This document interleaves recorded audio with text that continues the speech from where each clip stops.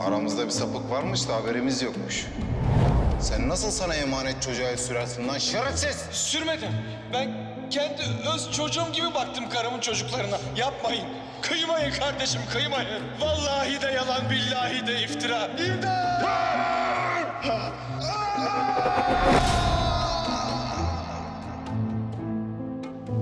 Yürüsene.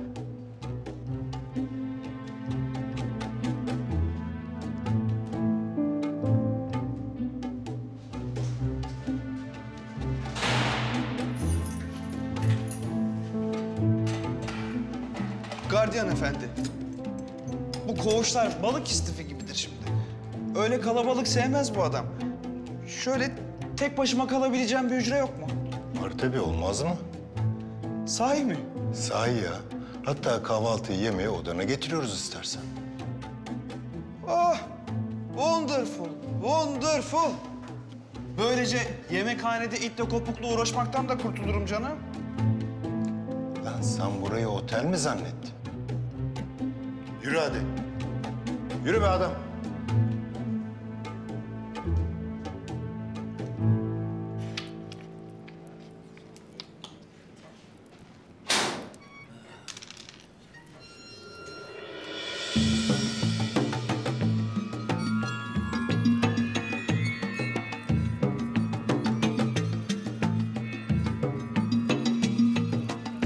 Geç içeri.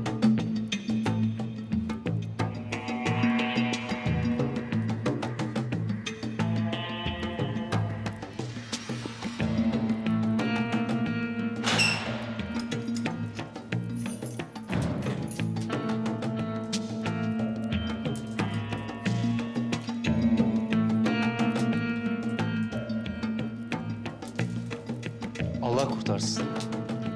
Sağ ol kardeşim. Allah kurtarsın birader. Geçmiş olsun kardeş. Geçmiş olsun kardeş. Sağ ol.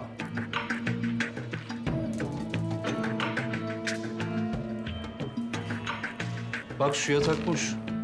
Geçebilirsin. Birader Allah kurtarsın. Eyvallah.